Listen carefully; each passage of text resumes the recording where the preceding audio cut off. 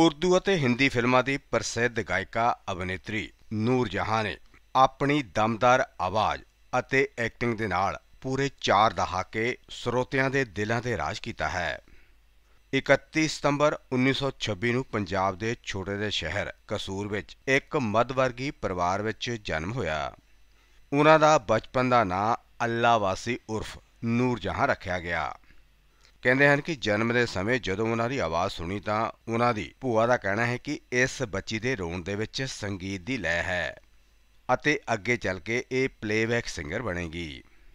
ਨੂਰ ਜਹਾਂ ਦੇ ਮਾਤਾ-ਪਿਤਾ ਥੀਏਟਰ ਵਿੱਚ ਕੰਮ ਕਰਦੇ ਸਨ।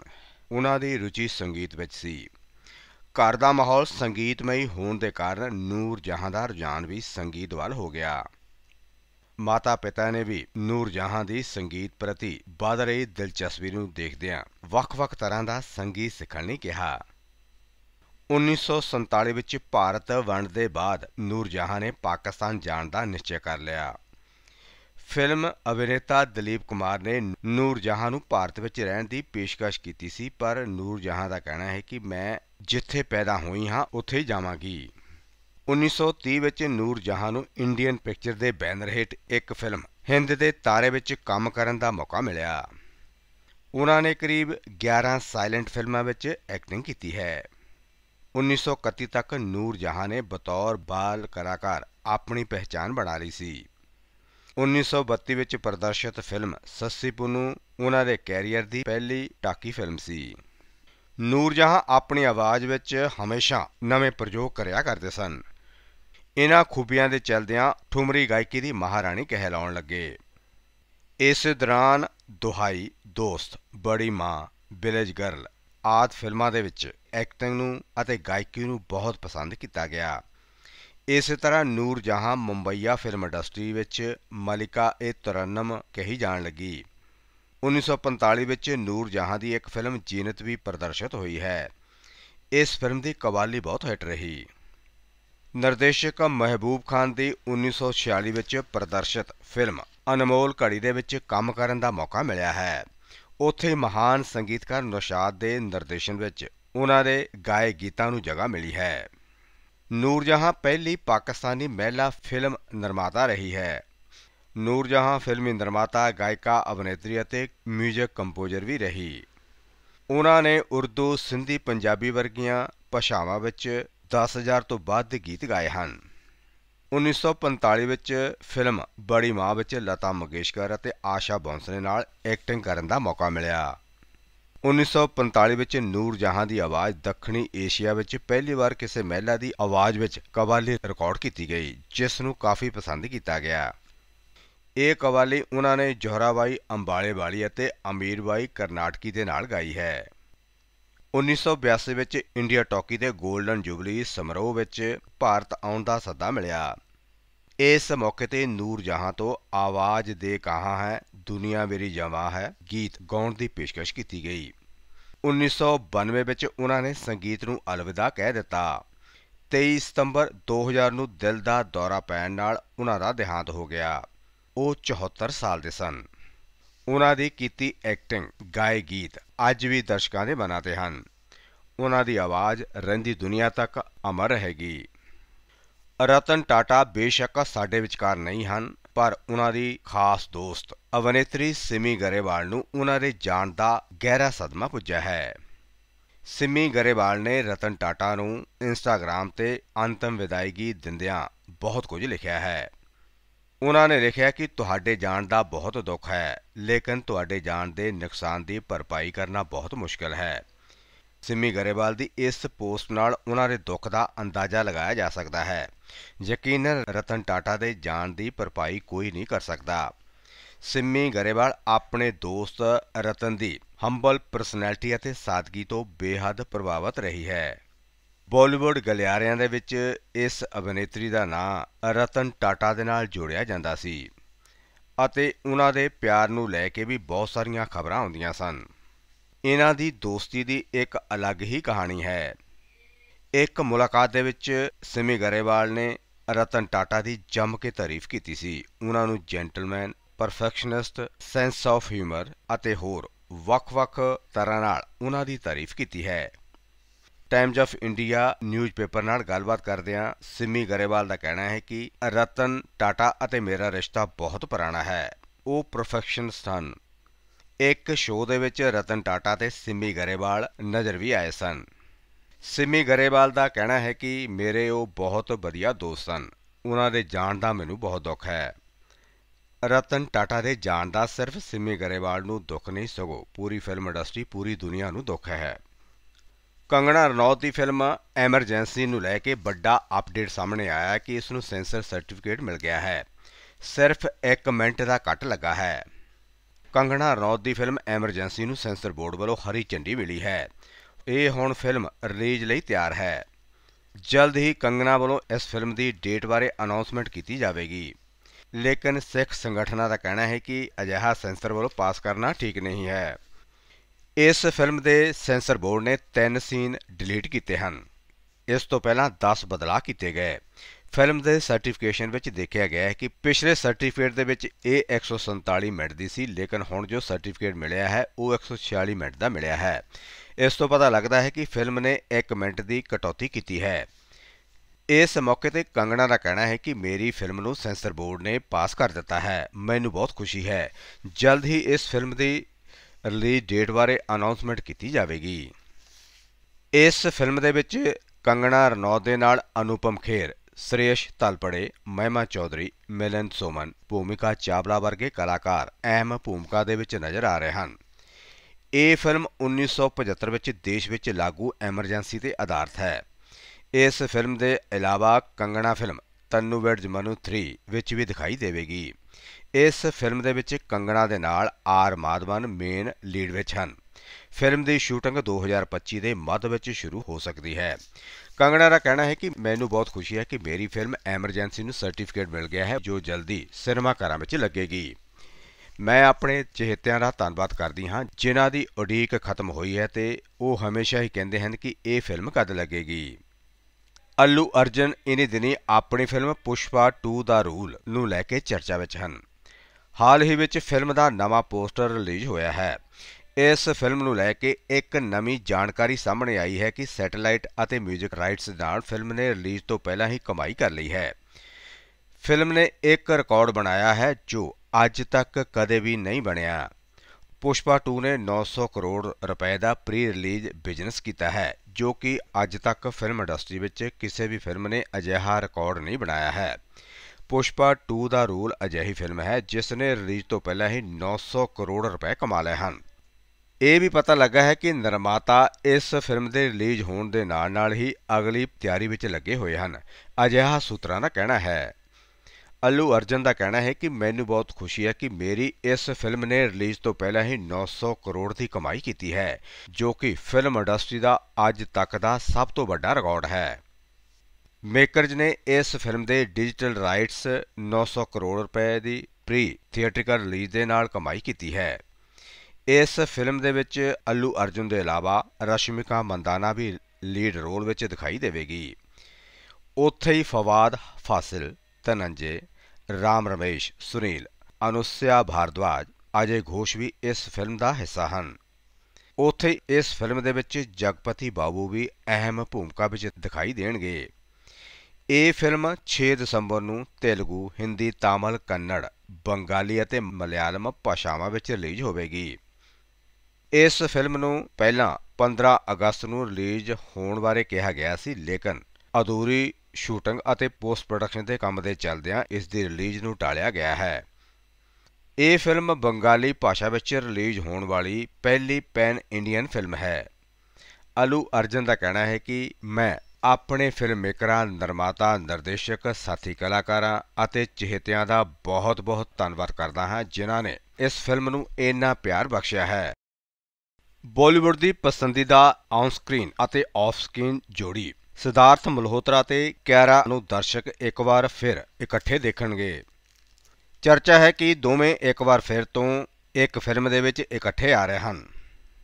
ਰਿਪੋਰਟਾਂ ਦਾ ਕਹਿਣਾ ਹੈ ਕਿ ਸਿਧਾਰਥ ਅਤੇ ਕਿਆਰਾ ਇੱਕ ਰੋਮਾਂਟਿਕ ਨਵੀਂ ਫਿਲਮ ਦੇ ਵਿੱਚ ਨਜ਼ਰ ਆ ਰਹੇ ਹਨ।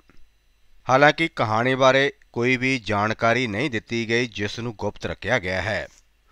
ਲੇਕਿਨ ਪ੍ਰੋਜੈਕਟ ਨਾਲ ਜੁੜੇ ਇੱਕ ਸੂਤਰ ਦਾ ਕਹਿਣਾ ਹੈ ਕਿ ਇਹ ਕੋਈ ਆਮ ਫਿਲਮ ਨਹੀਂ ਹੋਵੇਗੀ। ਅਲੱਗ ਕਿਸਮ ਦੀ ਪ੍ਰੇਮ ਕਹਾਣੀ ਪੇਸ਼ ਕਰਦੀ ਫਿਲਮ ਹੈ, ਜਿਸ ਵਿੱਚ ਇੱਕ ਅਜਿਹੀ ਪ੍ਰੇਮ ਕਹਾਣੀ ਨੂੰ ਪੇਸ਼ ਕੀਤਾ ਜਾਵੇਗਾ ਜੋ ਇੱਕ ਵੱਖਰੇ ਢੰਗ ਦੀ ਹੋਵੇਗੀ। ਇਸ ਦੇ ਨਾਲ ਹੀ ਇਸ ਫਿਲਮ ਦੇ ਵਿੱਚ ਕਮੇਡੀ ਵੀ ਨਜ਼ਰ ਆਵੇਗੀ। 2023 ਵਿੱਚ ਵਿਆਹ ਦੇ ਬਾਅਦ ਸਿਧਾਰਥ ਅਤੇ ਕਿਆਰਾ ਦੀ ਇਹ ਪਹਿਲੀ ਫਿਲਮ ਹੋਵੇਗੀ। ਫਿਲਹਾਲ ਕਿਆਰਾ ਰਿਤਿਕ ਰੋਸ਼ਨ ਅਤੇ ਜੂਨੀਅਰ ਐਨਟੀਆਰ ਦੇ ਨਾਲ ਵਾਰ 2 ਦੀ ਸ਼ੂਟਿੰਗ ਕਰ ਰਹੀ ਹੈ। ਇਸ ਦੇ ਇਲਾਵਾ ਉਸ ਦੇ ਕੋਲ ਗੇਮ ਚੇਂਜਰ ਟਾਕਸਿਕ ਅਤੇ ਹੋਰ ਫਿਲਮਾਂ ਹਨ। ਸਿਧਾਰਥ ਮਲਹੋਤਰਾ ਨੂੰ ਆਖਰੀ ਵਾਰ ਯੋਧਾ ਫਿਲਮ ਦੇ ਵਿੱਚ ਦੇਖਿਆ ਗਿਆ ਸੀ। ਇਸ ਦੇ ਇਲਾਵਾ ਉਸ ਦੇ ਕੋਲ ਰੇਸ 4 ਅਤੇ ਹੋਰ ਕਈ ਫਿਲਮਾਂ ਹਨ। ਇਸ ਫਿਲਮ ਦੇ ਵਿੱਚ ਉਸ ਦੇ ਨਾਲ ਸੈਫ ਅਲੀ ਖਾਨ ਵੀ ਮੁੱਖ ਭੂਮਿਕਾ ਦੇ ਵਿੱਚ ਨਜ਼ਰ ਆਵੇਗਾ। ਸਿਧਾਰਥ ਮਲਹੋਤਰਾ ਦਾ ਕਹਿਣਾ ਹੈ ਕਿ ਮੈਨੂੰ ਬਹੁਤ ਖੁਸ਼ੀ ਹੈ ਕਿ ਇਹ ਇੱਕ ਰੋਮਾਂਟਿਕ ਫਿਲਮ ਹੋਵੇਗੀ, ਜਿਸ ਵਿੱਚ ਮੇਰੀ ਕਿਆਰਾ ਅਡਵਾਨੀ ਦੇ ਨਾਲ ਵਧੀਆ ਭੂਮਿਕਾ ਹੋਵੇਗੀ। ਇਸ ਫਿਲਮ ਦੇ ਵਿੱਚ ਪਿਆਰ ਨੂੰ ਬੜੇ ਵੱਖਰੇ ਢੰਗ ਨਾਲ ਦਿਖਾਇਆ ਗਿਆ ਹੈ। ਬਾਹੂਬਲੀ ਨੇ ਬਹੁਤ ਕਮਾਈ ਕੀਤੀ ਸੀ। ਪਤਾ ਲੱਗਾ ਹੈ ਕਿ ਹੁਣ ਬਾਹੂਬਲੀ 3 ਦੇ ਲਈ ਪ੍ਰਵਾਸ ਨੇ ਇਸ ਫਿਲਮ ਤੇ ਕੰਮ ਕਰਨਾ ਸ਼ੁਰੂ ਕੀਤਾ ਹੈ। ਸਾਊਥ ਦੇ ਸੁਪਰਸਟਾਰ ਪ੍ਰਵਾਸ ਦੀ ਫਿਲਮ ਬਾਹੂਬਲੀ ਦਾ ਬਿਗਨਿੰਗ ਨੂੰ 10 ਜੁਲਾਈ 2015 ਨੂੰ ਸਿਨੇਮਾ ਘਰਾਂ ਦੇ ਵਿੱਚ ਰਿਲੀਜ਼ ਕੀਤਾ ਗਿਆ ਸੀ। ਜਿਸ ਦੀ ਸਫਲਤਾ ਦੇ ਬਾਅਦ 2017 ਵਿੱਚ ਇਸ ਦਾ ਸੀਕੁਅਲ ਬਾਹੂਬਲੀ 2 ਨੂੰ ਪੇਸ਼ ਕੀਤਾ ਗਿਆ। ਜਿਸ ਨੂੰ ਦਰਸ਼ਕਾਂ ਵੱਲੋਂ ਭਰਪੂਰ ਪਿਆਰ ਮਿਲਿਆ ਹੈ। ਹੁਣ ਖਬਰ ਸਾਹਮਣੇ ਆ ਰਹੀ ਹੈ ਕਿ ਬਹੁਬਲੀ 3 ਦੀ ਕਹਾਣੀ ਤੇ ਕੰਮ ਕੀਤਾ ਜਾ ਰਿਹਾ ਹੈ। ਇਸ ਗੱਲ ਦਾ ਖੁਲਾਸਾ ਪ੍ਰਸਿੱਧ ਫਿਲਮ ਮੇਕਰ ਕੇ ਈ ਗਿਆਨਵੇਲ ਰਾਜਾ ਨੇ ਕੀਤਾ ਹੈ, ਜੋ ਇਸ ਵੇਲੇ ਸੂਰਿਆ ਤਿਸ਼ਾ ਪਾਟਨੀ ਅਤੇ ਬੌਬੀ ਦਿਓਲ ਵਰਗੇ ਕਲਾਕਾਰਾਂ ਨੂੰ ਲੈ ਕੇ ਕੰਗੂਆ ਨੂੰ ਲੈ ਕੇ ਚਰਚਾ ਵਿੱਚ ਹਨ। ਉਹਨਾਂ ਦਾ ਕਹਿਣਾ ਹੈ ਕਿ ਫਿਲਮ ਬਾਹੂਬਲੀ 3 ਬਣ ਰਹੀ ਹੈ। ਪਿਛਲੇ ਹਫ਼ਤੇ ਮੈਂ ਫਿਲਮ ਦੇ ਨਿਰਮਾਤਾ ਦੇ ਨਾਲ ਗੱਲਬਾਤ ਕੀਤੀ ਸੀ। ਉਹਨਾਂ ਨੇ ਬਾਹੂਬਲੀ ਅਤੇ ਬਾਹੂਬਲੀ 2 ਤੋਂ ਬਾਅਦ ਹੁਣ ਤੀਸਰੇ ਭਾਗ ਨੂੰ ਬਣਾਉਣ ਦਾ ਫੈਸਲਾ ਕੀਤਾ ਹੈ। ਬਾਹੂਬਲੀ 2 ਨੇ 510 ਕਰੋੜ ਤੋਂ ਵੱਧ ਦੀ ਕਮਾਈ ਕੀਤੀ ਹੈ। ਨਿਰਦੇਸ਼ਕ ਐਸ ਐਸ ਰਾਜਾ ਮੌਲੀ ਦਾ ਕਹਿਣਾ ਹੈ ਕਿ ਇਸ ਫਿਲਮ ਦੀ ਕਹਾਣੀ ਮੇਰੇ ਪਿਤਾ ਲਿਖ ਰਹੇ ਹਨ। ਜਿਨ੍ਹਾਂ ਦੀਆਂ ਪਹਿਲਾਂ ਬਹੁਤ ਸਾਰੀਆਂ ਫਿਲਮਾਂ ਹਿੱਟ ਹਨ, ਬਾਹੂਬਲੀ ਦੇ 1 ਐਂਡ 2 ਪਾਰਟ ਵੀ ਮੇਰੇ ਪਿਤਾ ਨੇ ਹੀ ਲਿਖੇ ਸਨ। ਹੁਣ ਬਾਹੂਬਲੀ 3 ਦੀ ਵੀ ਉਹ ਕਹਾਣੀ ਲਿਖ ਰਹੇ ਹਨ। ਗਦਰ ਅਤੇ ਗਦਰ 2 ਵਰਗੀਆਂ ਹਿੱਟ ਫਿਲਮਾਂ ਦੇਣ ਵਾਲੇ ਡਾਇਰੈਕਟਰ ਅਨਿਲ ਸ਼ਰਮਾ ਹੁਣ ਇੱਕ ਨਵੀਂ ਫਿਲਮ ਨੂੰ ਲੈ ਕੇ ਖਬਰਾਂ ਵਿੱਚ ਹਨ। ਇਸ ਫਿਲਮ ਦਾ ਨਾਮ ਹੈ ਵਨਵਾਸ ਜਿਸ ਦੀ ਕਹਾਣੀ ਜਜ਼ਬਾਤਾਂ ਦੀ ਹੈ, ਆਪਣਿਆਂ ਦੇ ਵਿਸ਼ਵਾਸ ਦੀ ਹੈ। ਇਸ ਫਿਲਮ ਦੇ ਵਿੱਚ ਜਿੱਥੇ ਫਰਜ਼, ਸਨਮਾਨ, ਇਨਸਾਨ ਦੁਆਰਾ ਕੀਤੇ ਗਏ ਕੰਮਾਂ ਨੂੰ ਪੇਸ਼ ਕੀਤਾ ਗਿਆ ਹੈ, ਉੱਥੇ ਹੀ ਅੱਜ ਦੇ ਰਿਸ਼ਤਿਆਂ ਨੂੰ ਬੜੇ ਪਿਆਰੇ ਢੰਗ ਨਾਲ ਪੇਸ਼ ਕੀਤਾ ਹੈ। ਮੇਕਰਜ਼ ਨੇ ਇਸ ਫਿਲਮ ਦੀ ਅਨਾਉਂਸਮੈਂਟ ਕਰਦਿਆਂ ਇੱਕ ਵੀਡੀਓ ਜਾਰੀ ਕੀਤਾ ਹੈ। ਅਨਿਲ ਸ਼ਰਮਾ ਨੇ ਫਿਲਮ ਬਨਵਾਸ ਦੀ ਅਨਾਉਂਸਮੈਂਟ ਕੀਤੀ ਹੈ। ਟ੍ਰੇਲਰ ਦੇ ਵਿੱਚ ਲਿਖਿਆ ਹੈ ਕਿ ਆਪਣੇ ਹੀ ਆਪਣੋਂ ਕੋ ਦੇਤੇ ਹੈ ਬਨਵਾਸ। ਇਸ ਫਿਲਮ ਦੇ ਵਿੱਚ ਨਾਨਾ ਪਾਟੇਕਰ, ਉਤਕਰਸ਼ ਸ਼ਰਮਾ ਲੀਡ ਰੋਲ ਵਿੱਚ ਨਜ਼ਰ ਆਉਣਗੇ। ਇਸ ਫਿਲਮ ਦੇ ਬਾਰੇ ਅਨਿਲ ਸ਼ਰਮਾ ਦਾ ਕਹਿਣਾ ਹੈ ਕਿ ਰਮਾਇਣ ਅਤੇ ਬਨਵਾਸ ਇੱਕ ਅਲੱਗ ਹੀ ਕਹਾਣੀ ਹੈ, ਜਿੱਥੇ ਬੱਚੇ ਆਪਣੇ ਮਾਤਾ-ਪਿਤਾ ਨੂੰ ਬਨਵਾਸ ਦਿਵਾਉਂਦੇ ਹਨ। ਇਹ ਕਲਯੁਗ ਦੀ ਰਮਾਇਣ ਹੈ, ਜਿੱਥੇ ਆਪਣੇ ਹੀ ਆਪਣਿਆਂ ਨੂੰ ਬਨਵਾਸ ਦਿੰਦੇ ਹਨ। ਜੀ ਸਟੂਡੀਓ ਦੇ chief business officer Umesh Kumar Bansal ਦਾ ਕਹਿਣਾ ਹੈ ਕਿ ਬਨਵਾਸ ਫਿਲਮ ਇੰਡਸਟਰੀ ਦਾ ਇੱਕ ਅਲੱਗ ਹੀ ਸ਼ਾਨਦਾਰ ਪ੍ਰੋਜੈਕਟ ਹੋਵੇਗਾ, ਜਿਸ ਤੇ ਅਨਿਲ ਸ਼ਰਮਾ ਕਾਫੀ ਦੇਰ ਤੋਂ ਕੰਮ ਕਰ ਰਹੇ ਸਨ। ਇਹ ਇੱਕ ਵੱਖਰੀ ਤਰ੍ਹਾਂ ਦੀ ਫਿਲਮ ਹੋਵੇਗੀ, ਜਿਸ ਨੂੰ ਪੂਰਾ ਪਰਿਵਾਰ ਬੈਠ ਕੇ ਦੇਖੇਗਾ। ਇਹ ਬੱਚਿਆਂ ਤੇ ਮਾਤਾ-ਪਿਤਾ ਦੇ ਮਾਡਰਨ ਸਮੇਂ ਦੇ ਨਾਲ ਰਿਸ਼ਤਿਆਂ ਨੂੰ ਪੇਸ਼ ਕਰਦੀ ਇੱਕ ਕਹਾਣੀ ਹੈ। ਇਸ ਫਿਲਮ ਤੇ ਕਾਫੀ ਖਰਚਾ ਕੀਤਾ ਜਾ ਰਿਹਾ ਹੈ। ਸੋਸ਼ਲ ਮੀਡੀਆ ਤੇ ਇੱਕ ਹੈਰਾਨ ਕਰਨ ਦੇਣ ਵਾਲਾ ਵੀਡੀਓ ਤੇਜ਼ੀ ਨਾਲ ਵਾਇਰਲ ਹੋ ਰਿਹਾ ਹੈ, ਜਿਸ ਨੇ ਹਰ ਕਿਸੇ ਨੂੰ ਹਿਲਾ ਕੇ ਰੱਖ ਦਿੱਤਾ। ਦਰਸਲ ਇੱਕ ਮਸ਼ਹੂਰ ਹਸਤੀ ਦੀ ਡਾਂਸ ਕਰਦੇ ਕਰਦੇ ਜਾਨ ਨਿਕਲ ਗਈ, ਜਿਸ ਦਾ ਵੀਡੀਓ ਇੰਟਰਨੈਟ ਤੇ ਕਾਫੀ ਵਾਇਰਲ ਹੈ। ਅਚਾਨਕ ਹੋਈ ਮੌਤ ਦੇ ਕਾਰਨ ਹਾਹਾਕਾਰ ਮਚ ਗਈ। ਦਰਸਲ ਵਿਅਕਤੀ ਦਾ ਡਾਂਸ ਦੇਖ ਕੇ ਉੱਥੇ ਮੌਜੂਦ ਲੋਕ ਤਾੜੀਆਂ ਮਾਰ ਰਹੇ ਹਨ। ਵੀਡੀਓ ਸਿੰਗਾਪੁਰ ਦੀ ਦੱਸੀ ਗਈ ਹੈ। ਅਤੇ ਮ੍ਰਿਤਕ ਸਿੰਗਾਪੁਰ ਸ਼ਿਵਾਜੀ ਵਜੋਂ ਜਾਣਿਆ ਜਾਂਦਾ ਹੈ, ਜਿਸ ਦਾ ਨਾਮ ਅਸ਼ੋਕਨ ਮੁਨਿਆਦੀ ਹੈ। ਅਸ਼ੋਕਨ ਕਈ ਸਾਲਾਂ ਤੋਂ ਸ਼ਿਵਾਜੀ ਗਣੇਸ਼ਨ ਦੀ ਨਕਲ ਕਰਦੇ ਆ ਰਹੇ ਹਨ, ਜਿਨ੍ਹਾਂ ਨੂੰ ਕਾਫੀ ਪਸੰਦ ਕੀਤਾ ਗਿਆ ਹੈ। ਦਰਸਲ, ਇਹ ਘਟਨਾ 13 ਅਕਤੂਬਰ ਦੀ ਹੈ ਤੇ ਉਹਨਾਂ ਦਾ ਅੰਤਮ ਸੰਸਕਾਰ 15 ਅਕਤੂਬਰ ਨੂੰ ਕੀਤਾ ਗਿਆ। ਇਸ ਘਟਨਾ ਨੂੰ ਦੇਖ ਕੇ ਲੋਕ ਕਾਫੀ ਹੈਰਾਨ ਹਨ। ਇੱਕ ਇੰਟਰਵਿਊ ਵਿੱਚ ਅਸ਼ੋਕਨ ਦਾ ਕਹਿਣਾ ਹੈ ਕਿ ਉਹਨਾਂ ਸਾਲ 2000 ਵਿੱਚ ਇੱਕ ਮਮਿਕਰੀ ਆਰਟਿਸਟ ਦੇ ਰੂਪ ਵਿੱਚ ਆਪਣੇ ਕੈਰੀਅਰ ਦੀ ਸ਼ੁਰੂਆਤ ਕੀਤੀ। ਉਹਨਾਂ ਸਿੰਗਾਪੁਰ, ਮਲੇਸ਼ੀਆ ਤੇ ਭਾਰਤ ਦੇ ਵੱਖ-ਵੱਖ ਥਾਵਾਂ ਤੇ ਚੈਰਿਟੀ ਅਤੇ ਕਮਿਊਨਿਟੀ ਸਮਾਗਮਾਂ ਵਿੱਚ ਸ਼ਾਮਲ ਹੋਣਾ ਸ਼ੁਰੂ ਕੀਤਾ ਅਤੇ ਕਾਫੀ ਮਸ਼ਹੂਰ ਹੋ ਗਏ। ਅਸ਼ੋਕਨ ਦਾ ਕਹਿਣਾ ਹੈ ਕਿ ਉਸਨੇ ਸ਼ਿਵਾਜੀ ਗਣੇਸ਼ਨ ਦੀ ਨਕਲ ਉਦੋਂ ਕਰਨੀ ਸ਼ੁਰੂ ਕੀਤੀ ਜਦੋਂ ਉਸ ਨੂੰ ਦੱਸਿਆ ਗਿਆ ਸੀ ਕਿ ਦੋਵਾਂ ਦੇ ਚਿਹਰੇ ਮਿਲਦੇ ਜੁਲਦੇ ਹਨ। ਕਿਹਾ ਜਾਂਦਾ ਹੈ ਕਿ ਅਸ਼ੋਕਨ ਨੂੰ ਸ਼ਿਵਾਜੀ ਦੀਆਂ ਫਿਲਮਾਂ ਦੇ ਲਗਭਗ 80 ਗੀਤ ਯਾਦ ਸਨ। ਇਹਨਾਂ ਨੇ ਹੀ ਅਸ਼ੋਕਨ ਦੇ ਕੋਲ 100 ਦੇ ਕਰੀਬ ਪਹਿਰਾਵੇ ਸਨ ਜੋ ਸ਼ਿਵਾ ਦੀਆਂ ਫਿਲਮਾਂ ਦੇ ਪਹਿਨੇ ਜਾਂਦੇ ਪਹਿਰਾਵੇ ਨਾਲ ਮਿਲਦੇ ਜੁਲਦੇ ਸਨ। ਇਹ ਸਾਰੇ ਕੱਪੜੇ ਮਲੇਸ਼ੀਆ ਤੇ ਸਿੰਗਾਪੁਰ ਵਿੱਚ ਬਣਾਏ ਗਏ ਸਨ।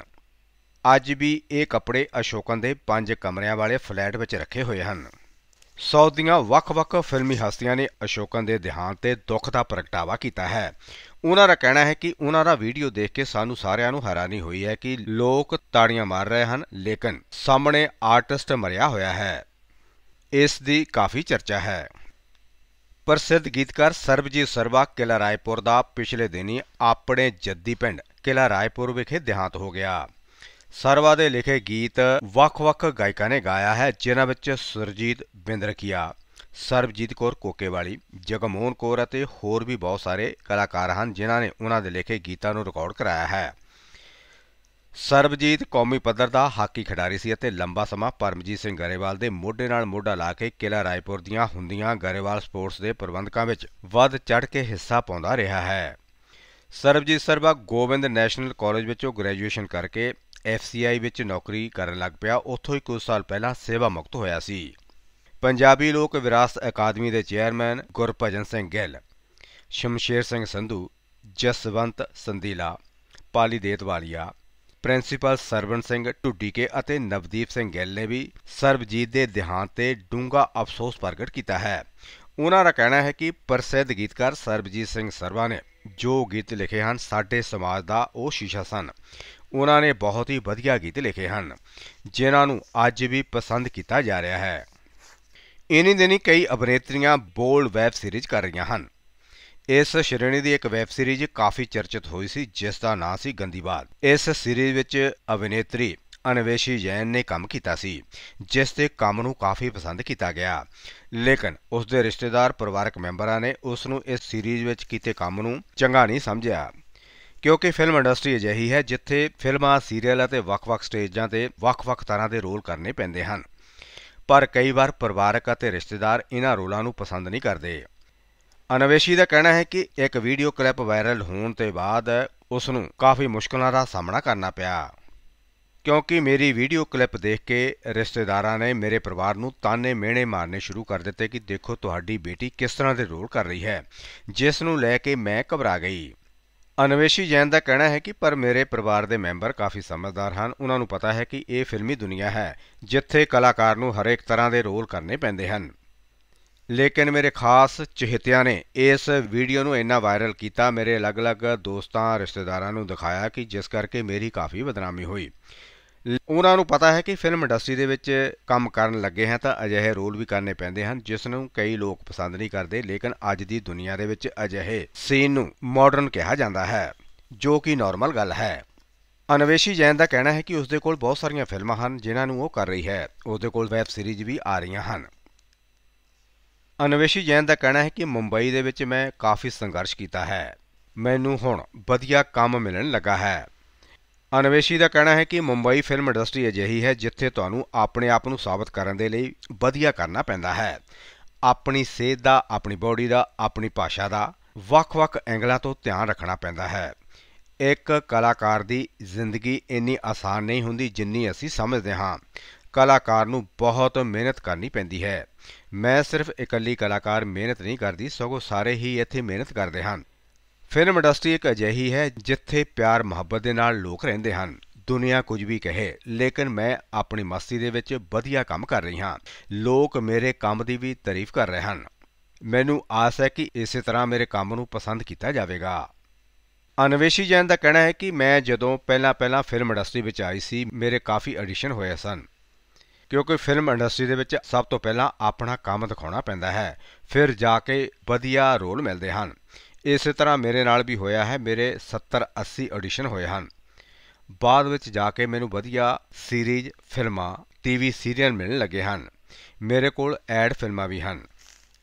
Anushka Sen New York city ਦੇ ਟਾਈਮ ਸਕੁਆਇਰ ਵਿੱਚ ਸਟੇਜ ਤੇ ਲਾਈਵ ਪਰਫਾਰਮ ਕਰਕੇ ਅਜਾਹਾ ਕਰਨ ਵਾਲੀ ਪਹਿਲੀ ਇੰਡੀਅਨ ਆਰਟਿਸਟ ਬਣ ਕੇ ਇਤਿਹਾਸ ਰਚ ਚੁੱਕੀ ਹੈ। ਉਸ ਨੇ ਗਾਇਕ ਏ.ਵਾਈ ਜੰਗ ਨਾਲ ਹੱਥ ਮਿਲਾਉਂਦੇ ਹੋਏ ਅਮਰੀਕਾ ਵਿੱਚ ਗਾਇਕਾ ਦੇ ਰੂਪ ਵਿੱਚ ਆਪਣਾ ਡੈਬਿਊ ਕੀਤਾ ਹੈ। ਇਸ ਦੌਰਾਨ ਅਨੁਸ਼ਕਾ ਜੈਪੁਰ ਦੇ ਇੱਕ ਲੋਕਲ ਡਿਜ਼ਾਈਨਰ ਵੱਲੋਂ ਡਿਜ਼ਾਈਨ ਕੀਤੇ ਗਏ ਖੂਬਸੂਰਤ ਆਊਟਫਿਟ ਵਿੱਚ ਆਤਮ ਵਿਸ਼ਵਾਸ ਨਾਲ ਭਰੀ ਨਜ਼ਰ ਆਈ। ਲਾਈਵ ਬੈਂਡ ਨਾਲ ਪਰਫਾਰਮ ਕਰਦੇ ਹੋਏ ਉਸਨੇ ਆਪਣੀ ਆਵਾਜ਼ ਦੇ ਨਾਲ ਬਹੁਤ ਹੀ ਕੌਨਫੀਡੈਂਸ ਨਾਲ ਭਾਰਤ ਨੂੰ ਮਾਣ ਨਾਲ ਰਿਪਰੈਜ਼ੈਂਟ ਕੀਤਾ ਹੈ। ਅਨੁਸ਼ਕਾ ਦਾ ਕਹਿਣਾ ਹੈ ਕਿ ਮੈਂ ਬਹੁਤ ਧੰਨਵਾਦੀ ਹਾਂ ਕਿ ਮੈਨੂੰ ਟਾਈਮਜ਼ ਸਕੁਆਇਰ ਤੇ ਪਰਫਾਰਮ ਕਰਨ ਦਾ ਮੌਕਾ ਮਿਲਿਆ ਹੈ। ਅਤੇ ਮੈਨੂੰ ਇਹ ਮਾਣ ਅਜਿਹਾ ਮਿਲਿਆ ਕਿ ਮੈਂ ਪਹਿਲੀ ਭਾਰਤੀ ਆਰਟਿਸਟ ਬਣੀ ਹਾਂ। ਜਿਸ ਨੇ ਉੱਥੇ ਪਰਫਾਰਮ ਕੀਤਾ ਹੈ। ਇਸ ਤੋਂ ਪਹਿਲਾਂ ਕਿਸੇ ਵੀ ਭਾਰਤੀ ਗਾਇਕ ਨੇ ਉੱਥੇ ਪਰਫਾਰਮ ਨਹੀਂ ਕੀਤਾ। ਇਹ ਸੱਚ ਹੈ ਕਿ ਦੁਨੀਆ ਭਰ ਤੋਂ ਲੋਕ ਤੁਹਾਨੂੰ ਪਰਫਾਰਮ ਕਰਦੇ ਹੋਏ ਦੇਖ ਰਹੇ ਸਨ। ਇੱਕ ਕਮਾਲ ਦਾ ਤਜਰਬਾ ਹੈ। ਮੈਂ ਏਵਾਈ ਜੰਗ ਦੀ ਬਹੁਤ ਧੰਨਵਾਦੀ ਹਾਂ, ਜਿਨ੍ਹਾਂ ਨੇ ਮੈਨੂੰ ਇਹ ਮੌਕਾ ਦਿੱਤਾ ਅਤੇ ਕੇਨ ਲੂਇਸ ਜੋ ਸਿਰਫ ਸਾਡਾ ਸਮਰਥਨ ਕਰਨ ਲਈ ਉੱਥੇ ਆਏ ਸਨ, ਇਸ ਨਾਲ ਮੈਨੂੰ ਅਜਿਹਾ ਮਹਿਸੂਸ ਹੁੰਦਾ ਹੈ ਕਿ ਜਿਵੇਂ ਅਮਰੀਕਾ ਵਿੱਚ ਮੇਰਾ ਇੱਕ ਪਰਿਵਾਰ ਹੈ। ਇਹ 뮤직 ਜਰਨੀ ਇਸ ਲਈ ਖਾਸ ਹੈ ਕਿਉਂਕਿ ਇਹ ਸਿਰਫ ਮਨੋਰੰਜਨ ਤੋਂ ਕਿਤੇ ਵੱਧ ਕੇ ਹੈ। ਇਹ ਸਾਡੇ ਗ੍ਰਹਿ ਦੇ ਬਾਰੇ ਹੈ ਅਤੇ ਲੋਕਾਂ ਨੂੰ ਇਹ ਸਮਝਣ 'ਚ ਮਦਦ ਕਰਦੀ ਹੈ ਕਿ ਆਉਣ ਵਾਲੇ ਸਾਲਾਂ ਵਿੱਚ ਸਾਨੂੰ ਆਪਣੀ ਧਰਤੀ ਮਾਂ ਲਈ ਕੀ ਕਰਨਾ ਚਾਹੀਦਾ ਹੈ। ਮਿਊਜ਼ਿਕ ਕੋਲ ਦੁਨੀਆ ਭਰ ਦੀਆਂ ਵੱਖ-ਵੱਖ ਸੰਸਕ੍ਰਿਤੀਆਂ ਅਤੇ ਥਾਵਾਂ ਦੇ ਲੋਕਾਂ ਨੂੰ ਇਕੱਠੇ ਕਰਨ ਦਾ ਇੱਕ ਮੌਕਾ ਹੁੰਦਾ ਹੈ। ਦਰਸ਼ਕ ਉਹਨਾਂ ਨੂੰ ਬਹੁਤ ਪਿਆਰ ਕਰਦੇ ਹਨ। ਸਾਊਥ ਹਰਮਨ ਪਿਆਰੀ ਅਭਿਨੇਤਰੀ ਸੰਯੁਕਤਾ ਆਪਣੀਆਂ ਫਿਲਮਾਂ ਵਿੱਚ ਦਮਦਾਰ ਕਿਰਦਾਰ ਦੇ ਲਈ ਕਾਫੀ ਮਸ਼ਹੂਰ ਹੈ। ਹੁਣ ਮੈਥਡ ਐਕਟਿੰਗ ਦੀ ਕਲਾ ਨੂੰ ਦੂਜੇ ਪੱਧਰ ਤੇ ਲਿਜਾਂਦੇ ਹੋਏ ਉਹ ਨਿਖਿਲ ਸਿਧਾਰਥ ਦੇ ਨਾਲ ਅਗਲੀ ਪੈਨ ਇੰਡੀਆ ਡਰਾਮਾ ਫਿਲਮ ਸਵੈ ਯੰਬੂ ਦੀ ਤਿਆਰੀ ਵਿੱਚ ਲੱਗੀ ਹੋਈ ਹੈ। ਫਿਲਮ ਵਿੱਚ ਆਪਣੇ ਕਿਰਦਾਰ ਦੀ ਤਿਆਰੀ ਦੇ ਲਈ ਉਹ ਫਿਜ਼ੀਕਲ ਟ੍ਰੇਨਿੰਗ ਲੈ ਰਹੀ ਹੈ। ਸੰਯੁਕਤਾ ਨੇ ਹਾਲ ਹੀ ਵਿੱਚ ਸੋਸ਼ਲ ਮੀਡੀਆ ਤੇ ਇੱਕ ਪੋਸਟ ਸ਼ੇਅਰ ਕਰਦਿਆਂ ਕਿਹਾ ਕਿ ਇੱਕ ਅਭਿਨੇਤਰੀ ਦੇ ਰੂਪ ਵਿੱਚ ਮੈਂ ਖੁਸ਼ਕਿਸਮਤ ਹਾਂ ਕਿ ਰੋਜ਼ ਵੱਖਰੀਆਂ-ਵੱਖਰੀਆਂ ਚੀਜ਼ਾਂ ਦਾ ਅਨੁਭਵ ਕਰ ਰਹੀ ਹਾਂ। ਜਿਵੇਂ ਕਿ ਹੁਣ ਮੈਂ ਆਪਣੀ ਅਗਲੀ ਫਿਲਮ ਸਵੈ ਜੰਬੂ ਲਈ ਘੋੜਸਵਾਰੀ ਸਿੱਖ ਰਹੀ ਹਾਂ ਅਤੇ ਮੇਰੇ ਤੇ ਵਿਸ਼ਵਾਸ ਕਰੋ ਕਿ ਇਹ ਇੱਕ ਅਧਿਆਤਮਕ ਯਾਤਰਾ ਹੋਵੇਗੀ। ਘੋੜੇ ਨਾਲ ਸਦਭਾਵਨਾ ਅਤੇ ਤਾਲਮੇਲ 'ਚ ਰਹਿਣਾ, ਘੋੜੇ ਦੀ ਆਤਮਾ ਵਿੱਚ ਗਹਿਰਾਈ ਨਾਲ ਦੇਖਣਾ ਤੇ ਨਿਸ਼ਚਿਤ ਕਰਨਾ ਕਿ ਅਸੀਂ ਇੱਕ ਟੀਮ ਦੇ ਰੂਪ ਵਿੱਚ ਮਿਲ ਕੇ ਕੰਮ ਕਰ ਰਹੇ ਹਾਂ, ਜੋ ਬਹੁਤ ਹੀ ਸੁੰਦਰ ਅਤੇ ਮੁਕਤੀਦਾਇਕ ਹੈ। ਮੈਂ ਹਰ ਵਾਰ ਡਿਗਣ ਨੂੰ ਇੱਕ ਪੌੜੀ ਦੇ ਰੂਪ ਵਿੱਚ ਲਿਆ ਹੈ, ਰੁਕਾਵਟ ਦੇ ਰੂਪ ਵਿੱਚ ਨਹੀਂ।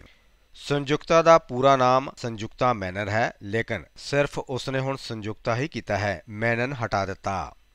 ਸੰਯੁਕਤਾ ਦਾ ਕਹਿਣਾ ਹੈ ਕਿ ਮੇਰੀ ਇਹ ਫਿਲਮ ਬਹੁਤ ਹੀ ਵਧੀਆ ਹੈ, ਜਿਸ ਤੇ ਕਾਫੀ ਕੰਮ ਕੀਤਾ ਜਾ ਰਿਹਾ ਹੈ। ਫਿਲਹਾਲ ਮੈਂ ਹਾਰਸ ਰਾਈਡਿੰਗ ਸਿੱਖ ਰਹੀ ਹਾਂ, ਇਸ ਦੇ ਬਾਅਦ ਹੋਰ ਵੀ ਬਹੁਤ ਕੁਝ ਸਿੱਖਾਂਗੀ। ਫਿਲਮ ਇੰਡਸਟਰੀ ਅਜਿਹੀ ਇੰਡਸਟਰੀ ਹੈ ਜਿੱਥੇ ਐਕਟਿੰਗ ਦੇ ਨਾਲ-ਨਾਲ ਤੁਹਾਨੂੰ ਹੋਰ ਵੀ ਬਹੁਤ ਕੁਝ ਸਿੱਖਣ ਨੂੰ ਮਿਲਦਾ ਹੈ। ਫਿਲਮ ਦੇ ਸੈੱਟ ਤੇ ਤੁਹਾਨੂੰ ਵੱਖ-ਵੱਖ ਕਲਾਕਾਰਾਂ ਤਕਨੀਸ਼ੀਅਨ ਦੇ ਨਾਲ ਵਾਹ ਪੈਂਦਾ ਹੈ, ਜੋ ਤੁਹਾਡੇ ਸੱਚੇ ਮਿੱਤਰ ਬਣ ਕੇ ਪੂਰੀ ਜ਼ਿੰਦਗੀ ਤੁਹਾਡਾ ਸਾਥ ਦਿੰਦੇ ਹਨ। ਰਵੀਨਾ ਦਿਲੈਕ ਹੁਣ ਦੋ ਧੀਆਂ ਦੀ ਮਾਂ ਹੈ। ਉਸ ਨੇ ਪਿਛਲੇ ਸਾਲ ਨਵੰਬਰ ਵਿੱਚ ਜੋੜੀਆਂ ਬੇਟੀਆਂ ਨੂੰ ਜਨਮ ਦਿੱਤਾ, ਜਿਸ ਦਾ ਨਾਂ ਉਸ ਨੇ ਈਦਾ ਅਤੇ ਜੀਵਾ ਰੱਖਿਆ ਹੈ। ਰਵੀਨਾ ਹੁਣ ਵਾਪਸ ਕੰਮ ਤੇ ਆ ਗਈ ਹੈ। ਉਸ ਨੇ ਸਭ ਤੋਂ ਪਹਿਲਾਂ ਆਪਣੀ ਫਿਟਨੈਸ ਤੇ ਧਿਆਨ ਦਿੱਤਾ ਹੈ ਤੇ ਕੰਮ ਕਰਨਾ ਸ਼ੁਰੂ ਕਰ ਦਿੱਤਾ। ਰਵੀਨਾ ਦਿਲੈਕ ਦਾ ਕਹਿਣਾ ਹੈ ਕਿ ਮਾਂ ਬਣਨ ਤੋਂ ਬਾਅਦ ਉਸ ਨੂੰ ਹੁਣ ਭਾਬੀ ਦੇ ਰੋਲ ਦੇ ਆਫਰ ਆਉਣ ਲੱਗੇ ਹਨ। ਰਵੀਨਾ ਦਾ ਕਹਿਣਾ ਹੈ ਕਿ ਮੈਨੂੰ ਬਹੁਤ ਖੁਸ਼ੀ ਹੁੰਦੀ ਹੈ ਕਿ ਮੇਰੇ ਕੋਲ ਹੋਰ ਵੀ ਬਹੁਤ ਸਾਰੀਆਂ ਫਿਲਮਾਂ ਹਨ, ਸੀਰੀਅਲ ਹਨ, ਜਿਨ੍ਹਾਂ ਨੂੰ ਮੈਂ ਕਰ ਰਿਹਾ ਹਾਂ। ਕਿਰਦਾਰ ਕੋਈ ਵੀ ਹੋਵੇ, ਦਿਲੋਂ ਕਰਨਾ ਚਾਹੀਦਾ ਹੈ। ਰਵੀਨਾ ਤੋਂ ਪਹਿਲਾਂ ਖਤਰੋਂ ਕੇ ਖਿਲਾੜੀ ਝਲਕ ਦਿਖਲਾ ਜਾ, ਛੋਟੀ ਬਹੂ ਅਤੇ ਹੋਰ ਸੀਰੀਅਲ ਹਨ ਜੋ ਕਾਫੀ ਹਿੱਟ ਹਨ। ਇਸ ਸਾਲ ਉਸਨੇ ਪੰਜਾਬੀ ਫਿਲਮ ਚੱਲ ਭੱਜ ਚਲੀਏ ਵਿੱਚ ਵੀ ਕੰਮ ਕੀਤਾ ਸੀ ਅਤੇ ਹੁਣ ਇੱਕ ਫਿਲਮ ਹਮ ਤੁਮ ਮਕਤੂਬ ਵਿੱਚ ਨਜ਼ਰ ਆਵੇਗੀ। ਇਸ ਫਿਲਮ ਦੀ ਸ਼ੂਟਿੰਗ ਚੱਲ ਰਹੀ ਹੈ। ਇਸ ਦੇ ਇਲਾਵਾ ਉਹ ਆਪਣੇ YouTube ਚੈਨਲ ਲਈ ਵੀ ਵੱਖ-ਵੱਖ ਤਰ੍ਹਾਂ ਦੇ ਪ੍ਰੋਗਰਾਮ ਬਣਾ ਰਹੀ ਹੈ, ਜਿਸ ਨੂੰ ਕਾਫੀ ਪਸੰਦ ਕੀਤਾ ਜਾ ਰਿਹਾ ਹੈ। ਬਾਲੀਵੁੱਡ ਅਦਾਕਾਰਾ ਸ਼ਰਵਰੀ ਇਸ ਸਾਲ ਆਪਣੇ ਸ਼ਾਨਦਾਰ ਪ੍ਰਦਰਸ਼ਨ ਕਾਰਨ ਸੁਰਖੀਆਂ ਵਿੱਚ ਰਹੀ ਹੈ। ਮੁੰਜਿਆ ਮਹਾਰਾਜ ਵੇਦਾ ਵਰਗੀਆਂ ਫਿਲਮਾਂ ਵਿੱਚ ਉਸ ਦੀ ਦਮਦਾਰ ਅਦਾਕਾਰੀ ਨੇ ਲੋਕਾਂ ਦਾ ਦਿਲ ਜਿੱਤ ਲਿਆ। ਹੁਣ ਸ਼ਰਵਰੀ ਆਪਣੀ ਆਉਣ ਵਾਲੀ ਫਿਲਮ ਅਲਫਾ ਤੋਂ ਇੱਕ ਵਾਰ ਫੇਰ ਚਰਚਾ ਦੇ ਵਿੱਚ ਹੈ। ਸ਼ਰਵਰੀ ਨੇ ਮੀਡੀਆ ਨੂੰ ਕਿਹਾ ਹੈ ਕਿ ਉਹ ਆਪਣੀ ਬਾਡੀ ਦਾ ਬਹੁਤ ਧਿਆਨ ਰੱਖਦੀ ਹੈ, ਕਿਉਂਕਿ ਫਿਟਨੈਸ ਹੀ ਸਭ ਤੋਂ ਪਹਿਲਾਂ ਹੈ। ਸ਼ਰਵਰੀ ਨੇ ਆਪਣੀਆਂ ਗਲੈਮਰਸ ਫਿਟਨੈਸ ਫੋਟੋਆਂ ਦੇ ਨਾਲ ਕੈਪਸ਼ਨ ਦਿੱਤਾ ਹੈ। ਉਸ ਦਾ ਕਹਿਣਾ ਹੈ ਕਿ ਆਉਣ ਵਾਲੀ ਫਿਲਮ ਅਲਫਾ ਦਾ ਤੀਜਾ ਸ਼ਡਿਊਲ ਸ਼ੁਰੂ ਹੋਣ ਵਾਲਾ ਹੈ। ਅਤੇ ਉਹ ਆਪਣੀ ਫਿਟਨੈਸ ਨੂੰ ਲੈ ਕੇ ਕਾਫੀ ਅਲਰਟ ਹੈ। ਇਸ ਫਿਲਮ ਦੇ ਵਿੱਚ ਆਲੀਆ ਭੱਟ ਨਾਲ ਉਹ ਨਜ਼ਰ ਆਵੇਗੀ। ਇਹ ਫਿਲਮ 25 ਦਸੰਬਰ 2025 ਨੂੰ ਰਿਲੀਜ਼ ਹੋਵੇਗੀ। ਸ਼ਰਬਰੀ ਦਾ ਕਹਿਣਾ ਹੈ ਕਿ ਮੇਰੇ ਕੋਲ ਹੋਰ ਵੀ ਬਹੁਤ ਸਾਰੀਆਂ ਫਿਲਮਾਂ ਹਨ ਜਿਸ ਦੀ ਮੈਂ ਸ਼ੂਟਿੰਗ ਕਰ ਰਹੀ ਹਾਂ। ਇਹ ਮੇਰੀ ਅਲਫਾ ਬਹੁਤ ਹੀ ਅਲੱਗ ਕਿਸਮ ਦੀ ਫਿਲਮ ਹੈ। ਬਾਲੀਵੁੱਡ ਅਦਾਕਾਰ ਫਰਹਾਨ ਅਖਤਰ ਨੇ ਆਪਣੀ ਭੈਣ ਜੋਇਆ ਅਖਤਰ ਨੂੰ ਜਨਮ ਦਿਨ ਤੇ ਵਧਾਈ ਦਿੱਤੀ ਹੈ। ਇੰਸਟਾਗ੍ਰam ਤੇ ਲਿਖਿਆ ਹੈ ਕਿ ਜਨਮ ਦਿਨ ਦੀ ਬਹੁਤ ਬਹੁਤ ਵਧਾਈ। ਇਸੇ ਤਰ੍ਹਾਂ ਹਮੇਸ਼ਾ ਖੁਸ਼ ਰਹੋ। ਇਸੇ ਦੌਰਾਨ ਉਸਨੇ ਜੋਇਆ ਦੀਆਂ ਕੁਝ ਵੀਡੀਓਜ਼ ਵੀ ਸਾਂਝੀਆਂ ਕੀਤੀਆਂ ਹਨ। ਜੋਇਆ ਤੇ ਫਰਹਾਨ ਅਖਤਰ, ਜਾਵੇਦ ਅਖਤਰ ਅਤੇ ਹਨੀ ਇਰਾਨੀ ਦੇ ਬੱਚੇ ਹਨ। ਫਿਲਮਾਂ ਦੀ ਗੱਲ ਕਰੀਏ ਤਾਂ ਫਰਹਾਨ ਇਸ ਵੇਲੇ ਆਪਣੇ ਨਵੇਂ ਪ੍ਰੋਜੈਕਟ 120 ਬਹਾਦਰ ਤੇ ਕੰਮ ਕਰ ਰਿਹਾ ਹੈ, ਜੋ 1962 ਦੀ ਭਾਰਤ ਚੀਨ ਦੀ ਰੇਜਾਂਗ ਲਾ ਜੰਗ ਤੇ ਆਧਾਰਿਤ ਹੈ। ਫਿਲਮ ਵਿੱਚ ਫਰਹਾਨ ਫੌਜੀ ਅਫਸਰ ਮੇਜਰ ਸ਼ੈਤਾਨ ਸਿੰਘ ਦੀ ਭੂਮਿਕਾ ਨਿਭਾ ਰਿਹਾ ਹੈ। ਇਸ ਤੋਂ ਇਲਾਵਾ ਉਹ ਰਣਵੀਰ ਸਿੰਘ ਅਤੇ ਕਿਆਰਾ ਅਡਵਾਨੀ ਨਾਲ ਡੌਨ 3 ਵਿੱਚ ਵੀ ਨਜ਼ਰ ਆਵੇਗਾ। ਅਗਸਤ 2023 ਵਿੱਚ ਉਸਨੇ ਦੱਸਿਆ ਸੀ ਕਿ ਉਸ ਦੀ ਅਗਲੀ ਫਿਲਮ ਵਿੱਚ ਰਣਵੀਰ ਕਪੂਰ ਨਵੇਂ ਡੌਨ ਵਜੋਂ ਨਜ਼ਰ ਆਵੇਗਾ। ਇਸ ਤੋਂ ਪਹਿਲਾਂ ਫਿਲਮਾਂ ਦੇ ਪਹਿਲੇ ਦੋ ਭਾਗਾਂ ਵਿੱਚ ਸ਼ਾਹਰੂਖ ਖਾਨ ਅਤੇ ਅਮਿਤਾਭ ਬੱਚਨ ਮੁੱਖ ਕਿਰਦਾਰਾਂ ਵਿੱਚ ਨਜ਼ਰ ਆਏ ਸਨ। ਉਧਰ ਜੋਇਆ ਨੇ ਹਾਲ ਹੀ ਵਿੱਚ ਸੀਰੀਜ਼ ਐਂਗਰੀ ਯੰਗਮੈਨ ਦਾ ਨਿਰਮਾਣ ਕੀਤਾ ਸੀ। ਪ੍ਰਵਾਸ ਦੀ ਫਿਲਮ ਕਲਕੀ 2898 ਏਡੀ ਦੇ ਬਾਕਸ ਆਫਿਸ ਤੇ ਕਈ ਰਿਕਾਰਡ ਆਪਣੇ ਨਾਂ ਕੀਤੇ ਹਨ। ਇਸ ਫਿਲਮ ਦੇ ਵਿੱਚ ਉਸ ਦੇ ਨਾਲ ਦੀਪਿਕਾ ਪਾਦੂਕੋਨ ਅਮਿਤਾਭ ਬੱਚਨ ਲੀਡ ਰੋਲ ਵਿੱਚ ਸਨ। ਬੁਸਾਨ ਇੰਟਰਨੈਸ਼ਨਲ ਫਿਲਮ ਫੈਸਟੀਵਲ ਦੇ ਵਿੱਚ ਇਸ ਫਿਲਮ ਦੀ ਸਕਰੀਨਿੰਗ ਦੌਰਾਨ ਫਿਲਮ ਦੇ ਨਿਰਮਾਤਾ ਸਪਨਾ ਦੱਤ ਅਤੇ ਪ੍ਰਿੰਕਾ ਦੱਤ ਨੇ ਅਗਲੇ ਭਾਗ ਨੂੰ ਲੈ ਕੇ ਦਿਲਚਸਪ ਅਪਡੇਟ ਕੀਤਾ ਹੈ। ਸਵਪਨਾ ਅਤੇ ਪ੍ਰਿੰਕਾ ਦਾ ਕਹਿਣਾ ਹੈ ਕਿ ਫਿਲਮ ਦੇ ਸੀਕੁਅਲ ਦੀ ਲਗਭਗ 35 ਤੋਂ 40% ਸ਼ੂਟਿੰਗ ਹੋ ਚੁੱਕੀ ਹੈ। ਪਹਿਲੇ ਭਾਗ ਦੇ ਵਿੱਚ ਭਾਰਤ, ਉੱਤਰੀ ਅਮਰੀਕਾ ਅਤੇ ਯੂਕੇ ਸਮੇਤ ਹੋਰ ਜਗ੍ਹਾ ਤੇ ਸ਼ੂਟਿੰਗ ਕੀਤੀ ਗਈ ਅਤੇ ਇਸ ਦਾ ਸ਼ਾਨਦਾਰ ਪ੍ਰਦਰਸ਼ਨ ਕੀਤਾ ਗਿਆ। ਹੁਣ ਅਸੀਂ ਚਾਹੁੰਦੇ ਹਾਂ ਕਿ ਇਹ ਅਗਲਾ ਭਾਗ ਪੂਰੀ ਦੁਨੀਆ ਦੇ ਵਿੱਚ ਤਹਿਲਕਾ ਮਚਾਏ। ਫਿਲਮ ਮੇਕਰਾਂ ਦਾ ਕਹਿਣਾ ਹੈ ਕਿ ਇਸ ਫਿਲਮ ਦੀ ਮੇਕਿੰਗ ਦੌਰਾਨ ਉਹਨਾਂ ਨੂੰ ਬਹੁਤ ਕੁਝ ਸਿੱਖਣ ਨੂੰ ਮਿਲਿਆ ਹੈ। ਸਾਨੂੰ ਲੱਗਦਾ ਹੈ ਕਿ ਅਜਿਹਾ ਵਿਜ਼ੂਅਲ ਅਨੁਭਵ ਪੇਸ਼ ਕਰਨਾ ਬਹੁਤ ਵੱਡੀ ਪ੍ਰਾਪਤੀ ਹੈ। ਤੇਲਗੂ ਹੁਣ ਭਾਰਤੀ ਸਿਨੇਮਾ ਵਿੱਚ ਸਭ ਤੋਂ ਮਹੱਤਵਪੂਰਨ ਭਾਸ਼ਾਵਾਂ ਵਿੱਚੋਂ ਇੱਕ ਮੰਨੀ ਜਾਂਦੀ ਹੈ। ਅਸੀਂ ਹੋਰ ਵੀ ਫਿਲਮਾਂ ਪਲਾਨ ਕਰ ਰਹੇ ਹਾਂ। ਬਾਲੀਵੁੱਡ ਦੀ ਪਪੂਲਰ ਫਰੈਂਚਾਈਜ਼ੀ ਫਿਲਮਾਂ ਵਿੱਚ ਧੂਮ ਨੂੰ ਕਾਫੀ ਪਸੰਦ ਕੀਤਾ ਗਿਆ। ਇਸ ਦੇ ਤਿੰਨ ਭਾਗ ਸੁਪਰ ਹਿੱਟ ਜਾ ਚੁੱਕੇ ਹਨ। ਹੁਣ ਚੌਥੇ ਭਾਗ ਧੂਮ 4 ਦੀ ਤਿਆਰੀ ਨੂੰ ਲੈ ਕੇ ਖਬਰਾਂ ਸਾਹਮਣੇ ਆ ਰਹੀਆਂ ਹਨ। ਮੀਡੀਆ ਰਿਪੋਰਟ ਦਾ ਕਹਿਣਾ ਹੈ ਕਿ ਫਿਲਮ ਧੂਮ 4 ਦੇ ਵਿੱਚ ਰਣਵੀਰ ਕਪੂਰ ਮੇਨ ਲੀਡ ਵਿੱਚ ਨਜ਼ਰ ਆਵੇਗਾ। ਉਹ ਵੀ ਖਲਨਾਇਕ ਦੇ ਰੂਪ ਵਿੱਚ। ਅਦਿੱਤਿਆ ਚੋਪੜਾ ਦਾ ਕਹਿਣਾ ਹੈ ਕਿ ਰਣਵੀਰ ਕਪੂਰ ਇਸ ਰੋਲ ਦੇ ਲਈ ਬਹੁਤ ਫਿੱਟ ਹੈ। ਸਾਨੂੰ ਪਹਿਲੇ ਭਾਗ ਦੇ ਵਿੱਚ ਬਹੁਤ ਪਿਆਰ ਮਿਲਿਆ ਹੈ। ਆਸ਼ਾ ਹੈ ਕਿ ਧੂਮ 4 ਦੇ ਵਿੱਚ ਵੀ ਉਹਨਾਂ ਨੂੰ ਅਜਿਹਾ ਹੀ ਪਿਆਰ ਮਿਲੇਗਾ। ਰਿਪੋਰਟਾਂ ਦਾ ਕਹਿਣਾ ਹੈ ਕਿ ਧੂਮ 4 ਦੇ ਵਿੱਚ ਰਣਵੀਰ ਕਪੂਰ ਵਿਲਨ ਦੇ ਰੋਲ ਵਿੱਚ ਦਿਖਾਈ ਦੇਵੇਗਾ। ਇਸ ਦੇ ਨਾਲ ਹੀ ਰਣਵੀਰ ਕਪੂਰ ਨੇ ਆਪਣੀ ਫਿਲਮ ਲਵ ਐਂਡ ਵਾਰ ਦੀ ਸ਼ੂਟਿੰਗ ਪੂਰੀ ਕਰ ਲਈ ਹੈ ਅਤੇ 2025 ਦੇ ਆਖਰ ਜਾਂ ਫਿਰ 2026 ਦੀ ਸ਼ੁਰੂਆਤ ਵਿੱਚ ਧੂਮ 4 ਦੀ ਸ਼ੂਟਿੰਗ ਦਾ ਕੰਮ ਸ਼ੁਰੂ ਹੋਵੇਗਾ। ਇਸ ਫਿਲਮ ਦੇ ਬਾਕੀ ਦੇ ਕਲਾਕਾਰਾਂ ਨੂੰ ਵੀ ਫਾਈਨਲ ਕੀਤਾ ਜਾ ਰਿਹਾ ਹੈ। ਬਾਲੀਵੁੱਡ ਦੇ ਵਿੱਚ ਕਈ ਅਜਿਹੇ ਸਿਤਾਰੇ ਹਨ, ਜਿਨ੍ਹਾਂ ਦੇ ਕੋਲ ਕੰਮ ਬਹੁਤ ਹੈ ਤੇ ਕਈਆਂ ਦੇ ਕੋਲ ਕੰਮ ਹੈ ਵੀ ਨਹੀਂ। ਆਹਾਨਾ ਕੁਮਰਾ ਦਾ ਕਹਿਣਾ ਹੈ ਕਿ ਉਸ ਦੇ ਕੋਲ ਪਹਿਲਾਂ ਕਾਫੀ ਫਿਲਮਾਂ ਸਨ, ਲੇਕਿਨ ਹੁਣ ਕਾਫੀ ਘੱਟ ਹਨ। ਆਹਾਨਾ ਕੁਮਰਾ ਦਾ ਕਹਿਣਾ ਹੈ ਕਿ ਟੀਵੀ ਸੀਰੀਜ਼ ਜੋਧ ਦੇ ਵਿੱਚ ਅਮਿਤਾਭ ਬਚਨ ਦੀ ਬੇਟੀ ਦਾ ਰੋਲ ਕੀਤਾ ਸੀ। ਆਹਾਨਾ ਨੇ ਆਪਣੇ ਕੈਰੀਅਰ ਦੀ ਸ਼ੁਰੂਆਤ ਵੈਬ ਸੀਰੀਜ਼ ਤੋਂ ਕੀਤੀ, ਲੇਕਿਨ ਪਿਛਲੇ 3 ਸਾਲ ਤੋਂ ਉਸ ਦੇ ਕੋਲ ਕੋਈ ਵੀ ਕੰਮ ਨਹੀਂ।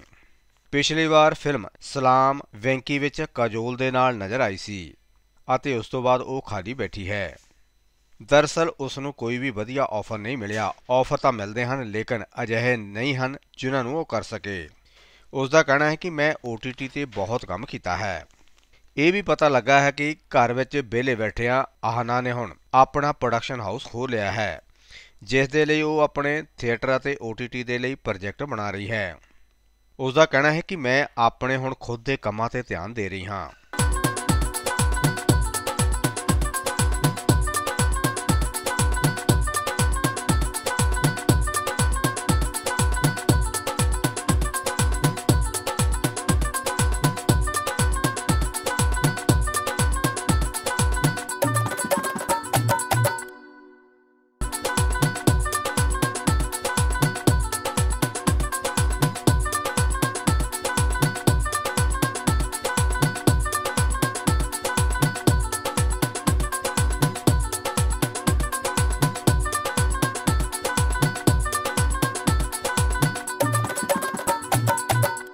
ਦੇਸ਼ ਦਬਾਬਾ ਟੀਵੀ ਦੇ ਖਬਰਾਂ ਦੇ ਇਸ ਬੁਲਟਨ ਨੂੰ ਪੂਰਾ ਦੇਖਣ ਦੇ ਲਈ ਤੁਹਾਡਾ ਬਹੁਤ-ਬਹੁਤ ਧੰਨਵਾਦ।